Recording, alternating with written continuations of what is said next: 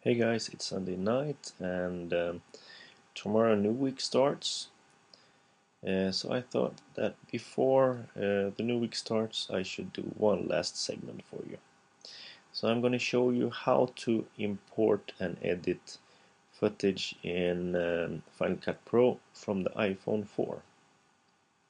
So here we go. First I'm going to import it so you'll see some problems we might run into. First I'm going to import the clips. So I'll go here and import this one. Oh sorry, that was the wrong one. That was some cows. Um, I'll import this one. It's a video of my daughter jumping in the water in the middle of the street. So I'll have the clip up here and I'll just drag it down to the timeline like this. And it gives me a question here um, it says that the sequence settings doesn't match the settings of the video clip. So uh, it asks if I want to change this so that they match. If I press no here and try to play this,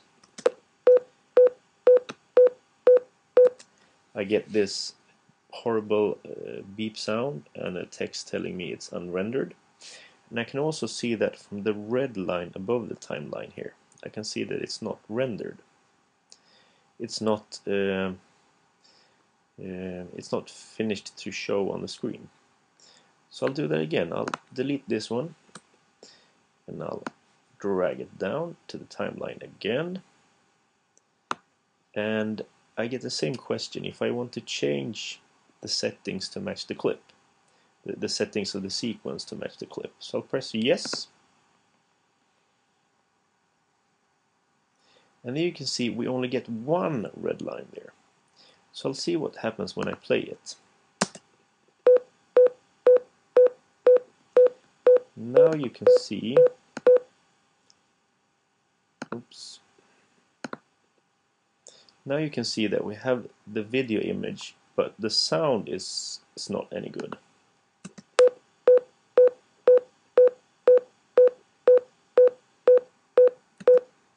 It's also kind of choppy there. So what we have to do then is to change we have to change the sound settings to match the sound settings of the sequence in Final Cut Pro. The problem is that we have camera-based and editing-based codecs and we have distribution codecs. I haven't talking about this before and you, you probably saw my example when I um, trans when I converted the clips from the 550D um, to a better ed editable format. We can we can um, look at this first. I'll look at the properties of this clip and you saw that the picture we could see the, the, the image but we couldn't hear the sound so I'll go down here and I'll take a look the sound is in 44.1 kilohertz. That's the, the audio rate.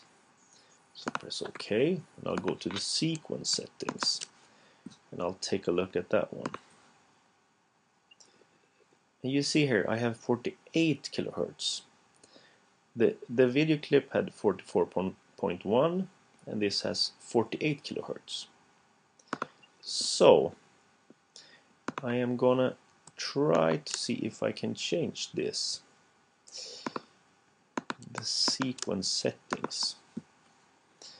Let's see what happens if I change this uh, the sequence settings to 44.1 kilohertz.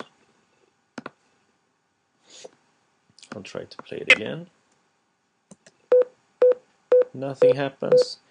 And that's because um, we have uh, we have a distribution codec on the iPhone 4 clip.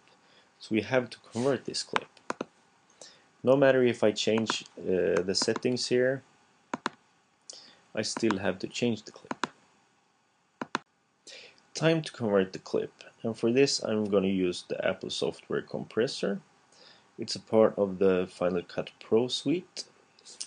Uh, so I'll um, I, I've made a, a, preset here called iPhone 4 to Final Cut Pro.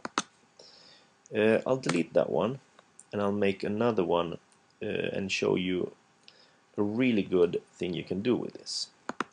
So what I'll, I'll use as a base is the Apple ProRes 422 LT uh, codec. So I'll do a search here for Apple ProRes 422 you can see all the different Apple ProRes um, uh, codecs you have here. So I'll choose the LT one. And you can see here we have the settings, all the settings for, for this codec over here. So what I will do is take my clip, this clip, and I'll drag it to the compressor icon. Here we have it. Uh, I'll take the the Apple ProRes 422 LT codec and I'll drag it up to this bit here. It says drag settings and destinations here. So I'll drag this setting here. Now I'll go over here to the inspector. I click the second button there. And here I can see the settings that I need to do and that I can change. So I'm going to keep it in QuickTime format. I'll keep the video settings like that. Uh, the audio settings, I'm not, not I'm not gonna just pass it through. I'm gonna go to enabled and I'll press settings. And I want it to be like this: linear PCM, stereo. It doesn't matter if it's stereo or or mono, since it's it's recorded in mono, but I'll put it in stereo.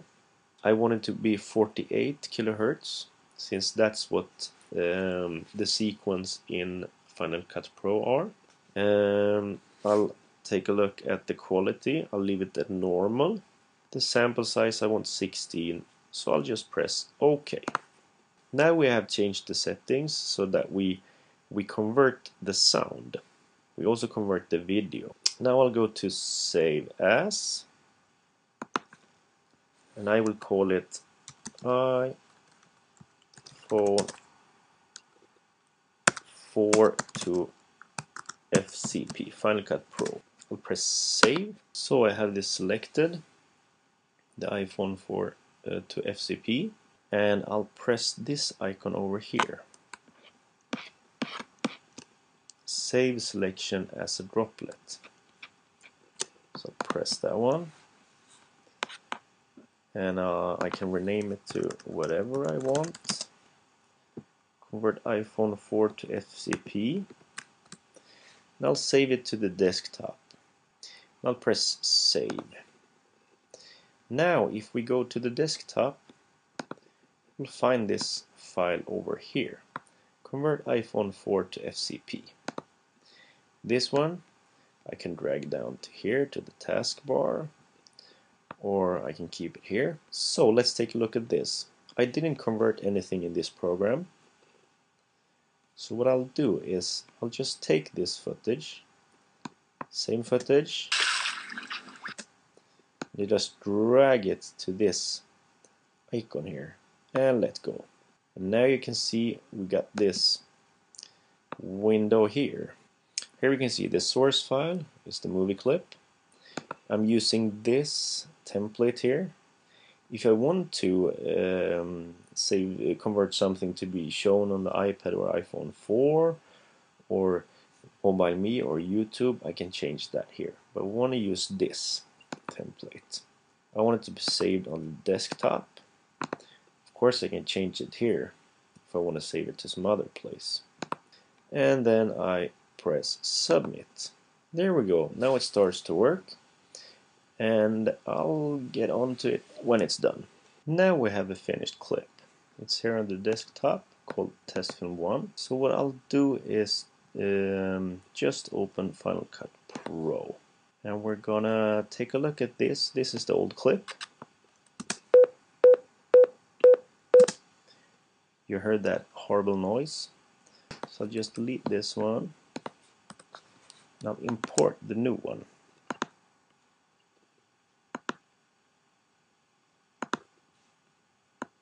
And I'll just drag it down here to the timeline. And I'll press yes. And now let's give it a try. But anyways it works.